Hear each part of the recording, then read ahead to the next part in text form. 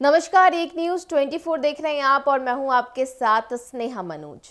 केंद्रीय मंत्री चिराग पासवान की पार्टी लोजपा रामविलास में बड़ी टूट हो सकती है। लोकसभा चुनाव के समय से ही प्रदेश स्तर के कई बड़े नेता नाखुश हैं। पार्टी के प्रदेश अध्यक्ष, प्रदेश के प्रधान महासचिव और आठ से नौ प्रदेश उपाध्यक्ष पार्टी छोड़ सकते हैं। हालाँकि पार्टी छोड़ने की बात कोई भी ऑन रिकॉर्ड नहीं कर रहा है। लेकिन चिराग पासवान को लेकर पार्टी में नाराज़गी की बातें साफ़ तौर पर सामने आ रही है।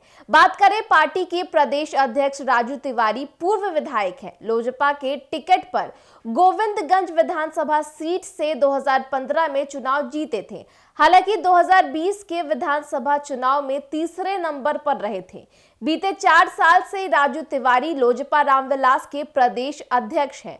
सूत्रों की माने तो 2024 के लोक लोकसभा चुनाव में इनकी इच्छा वाल्मीकि नगर सीट से चुनाव लड़ने की थी, जो पूरी नहीं हो पाई थी। दरअसल सीट पहले से जेडीयू के पास थी, इस कारण ये लोजपा रामविलास के खाते में नहीं आ पाई थी। एनडीए कोटे से सीट पर जेडीयू ने अपने कैंडिडेट को उतारा था। अब राजू तिवारी की नाराज़गी इसके बाद से ही शुरू हो गई थी और साफ़ तौर पर देखने को मिल रही थी। जब उन्हें वाल्मीकि नगर सीट से नहीं लड़ाया गया तो वो खगड़िया से टिकट मिलने की उम्मीद कर रहे थे। लेकिन वहाँ से चिराग ने राजेश वर्मा को टिकट दे दिया और राजू तिवारी खाली हाथ रह गए। नाराज़गी इस बात को लेकर भी थी कि वाल्मीकि नगर लोजपा रामविलास के खाते में लाने के लिए चिराग को एनडीए से बातचीत करनी थी, लेकिन उन्होंने कोई पहल नहीं की। तो सीधे तौर पर आपको यह भी बताते चले कि अब उनकी तैयारी अगले साल के विधानसभा चुनाव को लेकर है। 2025 के विधानसभा चुनाव में वो फिर से गोविंदगंज के चुनाव लड़ने का मन बना रहे हैं, लेकिन उन्हें अपनी पार्टी से टिकट नहीं मिला तब वो इस सीट से निर्दलीय भी चुनाव लड़ सकते हैं।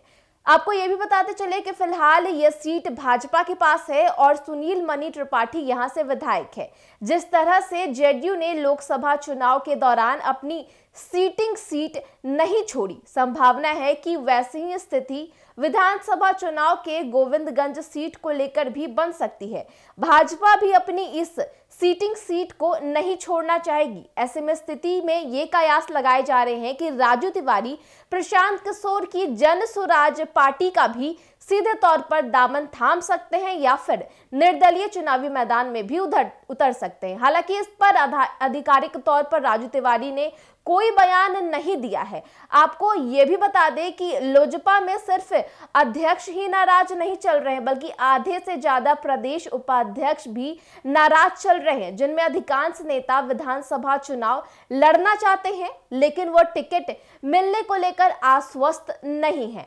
आपको हम ये भी बता दें कि सूत्रों के हवाले से खबर आ रही है कि भाजपा के प्रदेश के टॉप लीडर के मुताबिक चिकित्सा अति पिछड़ा और महिला प्रकोष्ठ के लोग अपने कार्यकर्ताओं के साथ पार्टी से नाता तोड़ सकते हैं। लोजपा में पंद्रह से ज़्यादा प्रदेश उपाध्यक्ष हैं। इनमें से आधे से ज़्यादा नाराज़, साफ़ तौर पर चिराग से नज़र आ रहे हैं। पार्टी के प्रदेश स्तर से एक नेता का यह भी कहना है कि पार्टी के नेताओं को आगे बढ़ाने का चिराग पासवान के पास कोई भी प्लान नहीं है। सेकेंड लेयर के लिए किसी दूसरे नेता को तैयार करने की कोशिश भी नहीं की जा रही है। जिस तरीके से लोकसभा चुनाव में अपने पार्टी के नेताओं को नजरअंदाज कर वीना देवी, श्यामभवी चौधरी और राजेश वर्मा को टिकट दिया गया था। उसका असर अब आने वाले बिहार विधानसभा चुनाव में भी दिख सकता है। वहीं प्रदेश के दूसरे नेता ये भी बताते हैं कि चिराग पासवान ने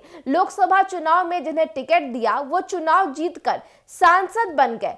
पर उसके बाद पार्टी की एक्टिविटी में वो दूर रहने से वो दूर रहते हुए दिखे। इस कतार में प्रदेश उपाध्यक्ष संजय सिंह और संजय कुमार सिंह भी शामिल है। आपको ये भी बताते चले कि पार्टी से जुड़े सूत्र ये भी बताते हैं कि जिससे संजय पासवान नाराज़ हो गए हैं, ये भी पार्टी को बाय बाय करने के मूड में आ चुके हैं। वहीं वहीं वैशाली के राघोपुर से आने वाले युवा नेता राकेश रोशन ने भी 2 नवंबर को पार्टी की प्राथमिकी सदस्य से अपना इस्तीफा दे दिया था। वो प्रदेश उपाध्यक्ष के होने के साथ ही लोजपा के आईटी सेल के अध्यक्ष भी थे। 2020 के विधानसभा चुनाव में तेजस्वी यादव के सामने ये राघोपुर सीट से चिराग की पार्टी के उम्मीदवार थे। आपको ये बता दें कि दरअसल पिछले काफ़ी समय से राकेश तिरहुत स्नातक निर्वाचन क्षेत्र के होने वाले चुनाव की तैयारी कर रहे थे। मगर गठबंधन की वजह से ये सीट एनडीए में शामिल जेडीयू को मिल गई। इसी वजह से राकेश ने चिराग पासवान को लेटर भेजकर पार्टी को छोड़ दी और निर्दलीय इस चुनावी मैदान में कूद गए हैं। तो इस खबर को लेकर के आपकी क्या राय? कमेंट बॉक्स में लिखकर ज़रूर बताएँ। धन्यवाद।